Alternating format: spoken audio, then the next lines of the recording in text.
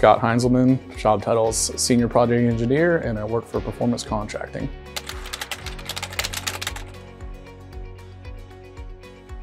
Uh, this June, I'll be here six years now. Uh, main things that keep me coming back would be the people I work with, uh, and then also providing, you know, a nice, stable financial life for my family.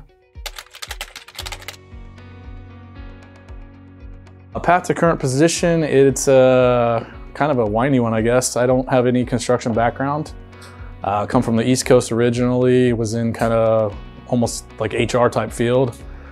Uh, was visiting family out here multiple years with my now wife, obviously, and ended up deciding to move out here and then just knew some people in the business and ended up getting an interview and getting a shot. And like I said, now I've been here for basically six years now. Uh, inspiration was, I mean, more at the time, didn't really find anything I was liking as far as job goes. Like I said, I had some family and friends that I knew in the business. Uh, liked the way they talked about it, liked the way they talked about the company. So, like I said, just kind of ended up getting a shot with them and been here six years, like you said, meant to be, I guess. That it's it's a fun industry. It's a fun industry to be in. You meet a lot of great people. Believe it or not, it's actually pretty small as far as just seeing repeat people and being on working with the same kind of GCs over and over and dealing with the same people as you move from project to project. So it's just a pretty small, fun industry to be in.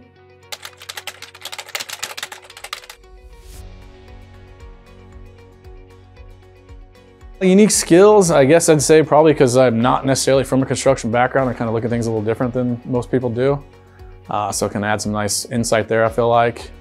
Uh, and then on top of that, just uh, pretty, pretty laid back demeanor going on. So when things get a little hectic, you know, just, just keep on chugging, growing with flow. What I like most probably, again, is the people. Just the people I deal with on a daily basis that I work with.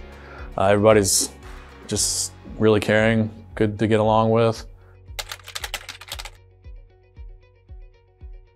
Uh, day to day, I get here probably about seven or so in the morning. Uh, just catch up on some emails, talk to anybody in the field that I need to catch up with since they usually, most jobs start, you know, five or six in the morning, so they're already out there working. Um, get anything they need to get done with them. And then just it's emails after that and just dealing with our customers. Uh, on my side, I probably have eight to 10 projects at any given time I'm running. So I got multiple different people I need to check in with and get stuff too. So getting out to the job sites is uh, always a nice little perk because you get away from that computer. After work, I get home. Uh, I got three boys right now, ranging from uh, a year and a half to about to be seven. So pretty, uh, pretty hectic life at home once I get out of here. It's the family, um, three boys, wife, uh, come get to work and just grind and get everything taken care of and try and keep providing that good life for them.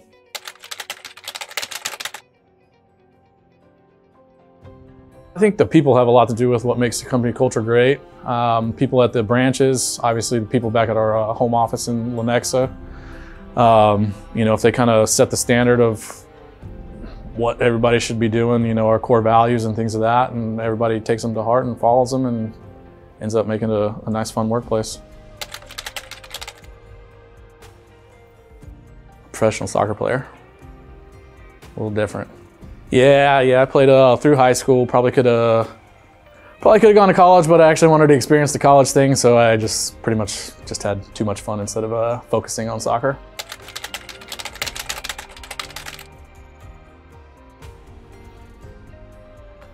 I guess the stereotype of it's it's a man's profession or whatever is just you know it's not really realistic. I don't think it's it's for anybody, for everybody. If you can handle the work and everything like that and show you got what it takes, I mean, there's nothing you can't accomplish with it.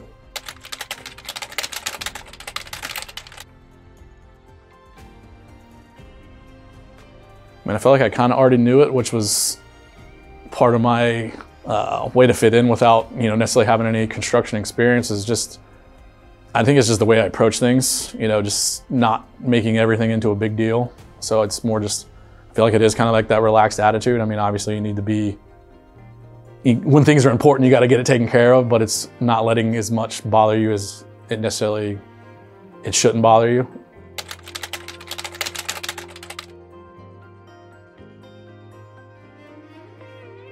milestone would probably be when we finished uh, our One West Side project. That was a, a tough project for us. A lot of exterior metal panels. It was new scope for me, so I had a lot of a lot of lessons learned, a lot of bumps and bruises along the way. Everybody had a lot of bumps and bruises with it, so just getting through that. And when it was finally complete, it was it looks great too. But it was just a nice. Uh, I mean, it wasn't nice, but it was learned a lot with it. You learn a lot more on the tough projects than you do on the easy projects.